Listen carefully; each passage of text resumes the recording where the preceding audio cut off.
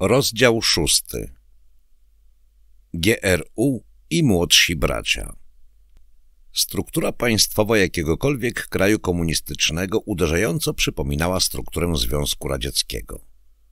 W epoce Stalina na przykład kult jednostki był obowiązującą zasadą, a każdy z dyktatorów potrzebował potężnej tajnej policji, by zachować status quo stwarzało to konieczność istnienia innej tajnej organizacji wywiadowczej, która miała stanowić przeciwwagę dla pierwszej. Zazwyczaj rolę owej przeciwwagi pełnił wywiad wojskowy, zwłaszcza, że wszystkie kraje komunistyczne, niezależnie jaki rodzaj komunizmu adoptowały, były wojownicze i agresywne. W wielu krajach obozu socjalistycznego na pierwszy rzut oka istniała tylko jedna tajna policja – ale bliższe oględziny wykazywały zawsze, że były dwie albo w tej jednej istniał tak silny rozłam, że w krótkim czasie doszło do podziału. Wywiady wojskowe wszystkich krajów satelickich przejawiały wielką aktywność w zbieraniu materiałów wywiadowczych, które następnie przekazywano bezpośrednio do GRU. Faktem mało znanym jest to, że władze wywiadowcze krajów satelickich podlegały Ministerstwu Obrony Związku Radzieckiego. Działo się tak dlatego, że wywiad wojskowy podlegał szefowi sztabu generalnego danego państwa, który z kolei był podwładnym szefa sztabu Układu Warszawskiego. Teoretycznie na to stanowisko mógł być mianowany dowolny generał z dowolnego państwa wchodzącego w skład układu. Ale dziwnym trafem Mianowani byli jedynie radzieccy generałowie. Jeden z nich pojawił się już na stronach tego opracowania. Były szef GRU, generał Sztymienko. Po upadku Chruszczowa Breżniew, chcąc przypodobać się armii, odwołał Sztymienkę z wygnania i przywrócił do poprzedniej rangi oraz mianował szefem sztabu wojsk Układu Warszawskiego. Bezpośrednim jego zwierzchnikiem zaś był dowódca Zjednoczonych Sił Układu Warszawskiego, które to stanowisko zawsze obejmował któryś z radzieckich marszałków. Pierwszym był Koniew, potem Greczko, Jakubowski i w końcu Kulikow. Natomiast oficjalny tytuł każdego z marszałków w trakcie piastowania tego stanowiska brzmiał Pierwszy zastępca ministra obrony ZSRR głównodowodzący Zjednoczonych Wojsk Państw Członkowskich Układu Warszawskiego.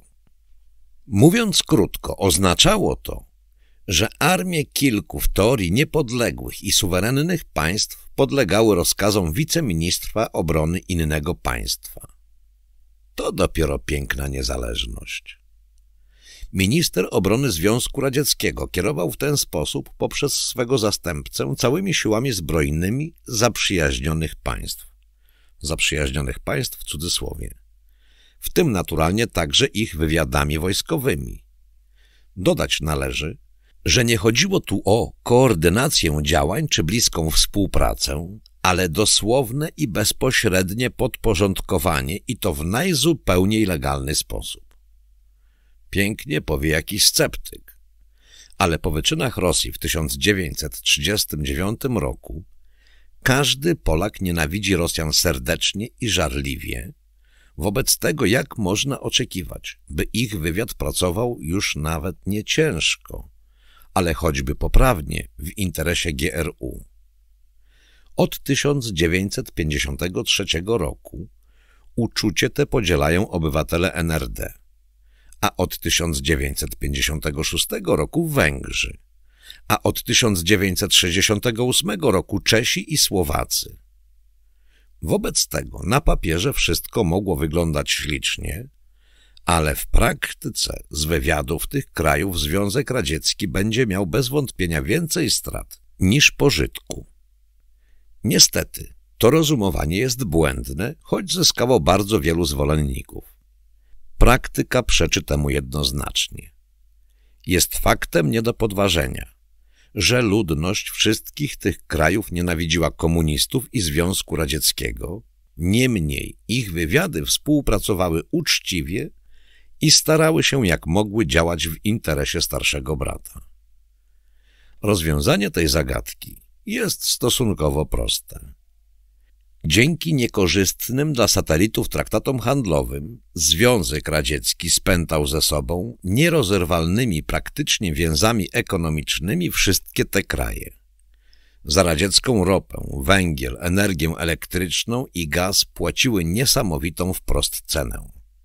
A płacić mogły dwojako. Własnymi surowcami czy wyrobami przemysłu, albo dostarczając tajemnice innych.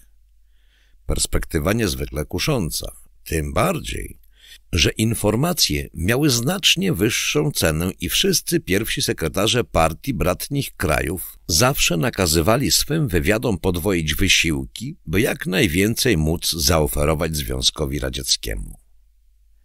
Zachód w pierwszych latach istnienia tego systemu był niezmiernie zaskoczony rozległym zakresem zainteresowań wywiadów krajów socjalistycznych. Na co Mongolii plan reaktorów atomowych, a Kubie silników rakiet strategicznych? Pytania te uzyskują jasną i prostą odpowiedź, gdy rozpatruje się wszystkie te wywiady jako jeden system.